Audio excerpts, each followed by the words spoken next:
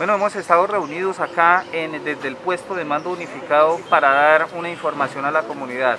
Nosotros hemos acatado la directriz presidencial, pero con gran preocupación, porque pasamos de tener a nuestra población eh, en cuidado preventivo a casi un sálvese quien pueda. Les estamos diciendo desde el decreto 079 a nuestra comunidad, ayúdenos a cuidar la ciudadanía, ayúdenos con el distanciamiento social, con el tapabocas.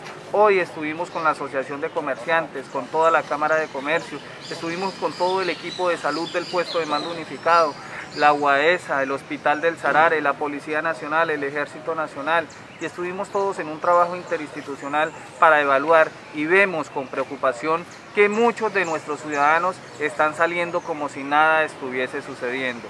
Lamentablemente se está muriendo la gente, se han incrementado las, muertes por COVID-19 en el municipio de Saravena.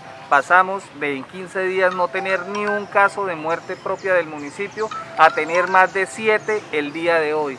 Por eso le pedimos a los ciudadanos ayúdenos. Gestionamos en conjunto con el señor gobernador, doctor José Facundo Castillo Cisneros, más de 20 unidades de eh, salas habilitadas para cuidados intensivos, camas con todos los equipos e implementos necesarios.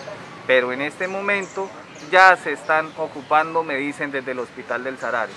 Por eso cuidémonos, aislamiento social, evitemos todas esas integraciones masivas, evitemos todos esos paseos de olla en el río, evitemos escenarios deportivos y háganlo no por el alcalde, háganlo por su familia, por su vida, por sus casas, porque la responsabilidad es individual. Hacemos desde la institucionalidad lo que esté a nuestro alcance, pero requerimos del compromiso de todos. Y primero, colocarnos en las manos del Dios Todopoderoso y colocarnos en las manos de aquellos héroes que pueden ayudarnos a salvar nuestra salud.